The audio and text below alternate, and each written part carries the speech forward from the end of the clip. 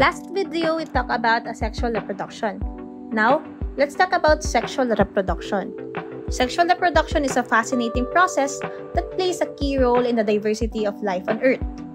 Today, we're going to explore how sexual reproduction works and the different types of fertilization that occur in nature. Sexual reproduction involves the combination of two gametes, sperm from a male and egg from a female. When these gametes fuse during fertilization, they create a new organism with genetic material from both parents.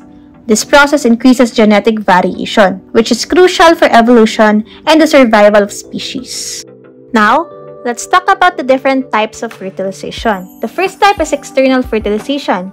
This is common in many aquatic animals like fish and amphibians. In this process, the female releases her eggs into the water, and the male releases sperm over the eggs, where fertilization happens outside the body. The challenge? Eggs and sperm are exposed to the environment, so many offspring may not survive. External fertilization works well in watery environments, but it requires large numbers of eggs and sperm to increase the chances of successful fertilization.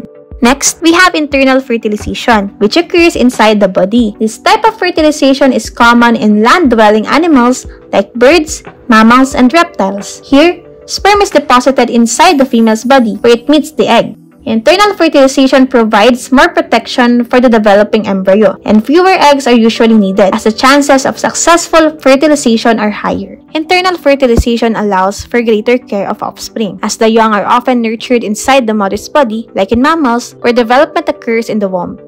So, to recap, external fertilization happens outside the female's body, typically in water, while internal fertilization occurs inside the female's body, providing a safer environment for the developing embryo. From aquatic animals to land mammals, fertilization is a vital part of sexual reproduction, ensuring the continuation of species and the incredible diversity we see in nature today.